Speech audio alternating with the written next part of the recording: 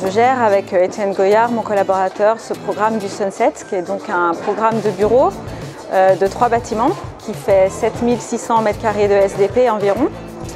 Euh, tous les bâtiments sont aujourd'hui commercialisés, euh, tous les bâtiments sont loués, on a des baux pour chacun des bâtiments et deux bâtiments sur trois sont également vendus à des investisseurs privés. Alors il y a Pôle emploi qui va investir le bâtiment A, qui a signé un bail, et une clinique qui traite des addictions qui s'appelle Adipsy, qui va investir le bâtiment B. Et sur le bâtiment C, c'est Equium qui est un groupe euh, qui euh, s'occupe d'ingénierie en fait. Voilà, c'est un, bureau d'ingénierie. C'est un foncier en fait qu'on a développé en copromotion avec UTEI. Euh, on est associé donc sur le programme et en fait on a déjà réalisé le bâtiment de logement qui est en face. Donc on avait cette parcelle de terrain et puis bah, un immeuble de bureau à Gerland, ça s'entend. C'est un secteur qui est porteur, qui est en pleine mutation.